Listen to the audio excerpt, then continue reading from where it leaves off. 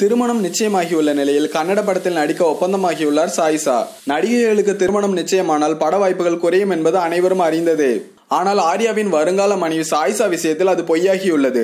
சாய்சா கன்னட திரையுலகில் அறிமுகமாக உள்ளார். கன்னட பவர் ஸ்டார் புனித் ராஜ்குமாரை வைத்த சந்தோஷ் ஆனந்த்ராம் இயக்கும் யுவரத்னா படத்தில் நடிக்க ஒப்பந்தமாகியுள்ளார் சாய்சா. இதுதான் சாய்சா நடிக்கும் முதல் கன்னட படமாகும். அவர் நாளையிலிருந்து அந்த படப்பிடிப்பில் கலந்து கொள்கிறார். புனித் ராஜ்குமார் படத்தில் நடிக்க போவது குறித்து தனது மகிழ்ச்சியை ட்விட்டரில் பகிர்ந்து கொண்டுள்ளார் சாய்சா. அவருக்கு ரசிகர்கள் வாழ்த்து தெரிவித்துள்ளனர். மார்ச் பத்தாம் தேதி திருமணம் என்று கூறப்பட்டது. இந்நிலையில் சாய்சா புது படத்தின் ஷூட்டிங்க்கு செல்கிறார். அப்படி என்றால் சாய்சா திருமணத்திற்கு பிறகும் நடிப்பார் என்று ரசிகர்கள் மகிழ்கிறார்கள். சூர்யா ஆர்யா மோகன்லால் உள்ளிட்டோரை வைத்து கே வி ஆனந்த் இயக்கியுள்ள காப்பான் படத்தில் நடித்து முடித்துள்ளார் சாய்சா. அடுத்ததாக அவர் புனித் ராஜ்குமார் படத்தில் நடிக்கிறார். திருமணம் நிச்சயமானாலும் சாய்சாவின் மார்க்கெட் பாதிக்கப்படவில்லை என்பதையே இது காட்டுகிறது. இந்நிலையில் சாய்சா புது படத்தின் ஷூட்டிங்க்கு செல்கிறார். அப்படி என்றால் சாய்சா திருமணத்திற்கு பிறகும் நடிப்பார் என்று ரசிகர்கள் மகிழ்கிறார்கள். சூர்யா ஆர்யா மோகன்லால் உள்ளிட்டோரை வைத்த கே வி ஆனந்த் இயக்கியுள்ள காப்பான் படத்தில் நடித்து முடித்துள்ளார் சாய்சா. அடுத்ததாக அவர் புனித் ராஜ்குமார் படத்தில் நடிக்கிறார். திருமணம் நிச்சயமானாலும் சாய்சாவின் மார்க்கெட் பாதிக்கப்படவில்லை என்பதையே இது காட்டுகிறது.